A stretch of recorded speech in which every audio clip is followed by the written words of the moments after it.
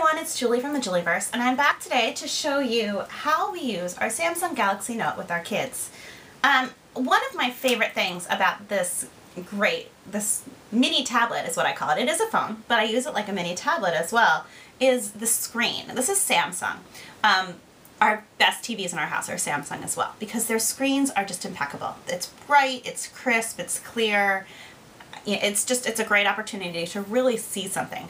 Uh, a friend of mine had this phone before I did and every time I saw her take a picture with it or a video with it because she's a video blogger as well um, I was always so impressed by how clear it was and how sharp it looked. It just it, it ranked stronger on the video and on the camera than the other um, phones that we've used in the past. Uh, my only thing about the video camera is the camera is awesome um, because let's see if I can find the camera. Uh, here's my camera. Um, you can view behind you and you can flip it. And now you can see my really messy office. So we'll switch that back. Um, so it's really good. You can flip and you can see yourself. Take a picture of yourself or you and your friends, you know, do this and smile. The video camera, which I'll switch to right now, only goes one way. Crisp and clear that I, you just can't it's just one of those things that I absolutely love. Um, in fact, here is my son's birthday, if it comes up. Um, well, we'll show that when it comes up.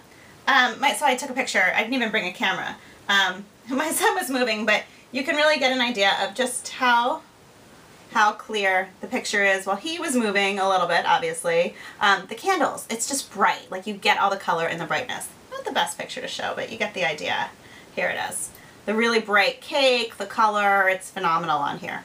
Um, so that's one of my favorite things about this, um, about the Samsung Galaxy Note is definitely the clear screen and the camera that comes with it.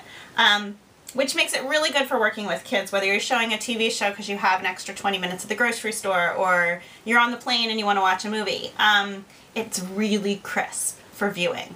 And the same thing comes with a lot of the apps and games. You you have a great picture. And uh, the only thing with watching a movie is the battery is not super strong. So you, if you're on a plane and you want to watch a whole movie, you're going to be really lucky if it lasts the whole time unless you have an extra charger with you. So definitely you might want to invest in an extra charger. And of course headphones, because you're on a plane. You want to plug your headphones in and not bother everyone else around you. That's a highlight from the